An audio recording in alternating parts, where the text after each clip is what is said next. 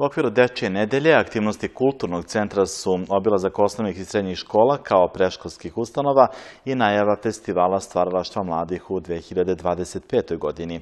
Cilj je da se istaknu dobre i loše strane prethodnih učešća, ali i da se iste poprave. Direktor Kulturnog centra, Dženan Palamar, urednica programa za mlade Hasna Ziljkić i gradska većenica Denisa Curić posetili su danas osnovnu školu na Dojeviću i Selakovcu, kao i preškolsku ustanovu Mladost. Kulturni centar Novi Pazar ima brojne aktivnosti tokom godine, a jedna od njih je i festival stvaralaštva mladih. Dečija nedelja je ujedno i povod da se posete sve osnovne i srednje škole kao i predškolska ustanova, kako bi se razgovaralo o dobrim i lošim stvarima koje su se dešavale tokom ovog festivala sa ciljem da se one poprave.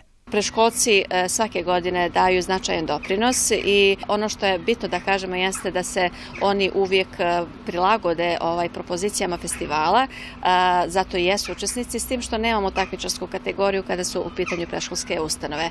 Eto i danas i narednih dana posjetit ćemo i ostale osnovne i srednje škole i naravno tema će biti e, predstojeći festival stvaralaštva mladih. Predškolska ustanova Mladost od 2018. godine učestvuje na festival stvaralaštva mladih i uz poštovanje svih propozicija priprema revijalni deo. Na ovogodišnjem festivalu učestvovalo je 380 dece. Imamo veliki broj dece na što smo i ponosni i ovaj veliki broj dece nam i učestvuje, ali to nije mogu, moguće da se zadovolje sve one želje što imaju i deca i roditelji. Broj dece koji je bio na prvom festivalu je bio 248, da bi ove godine bilo 380 dece.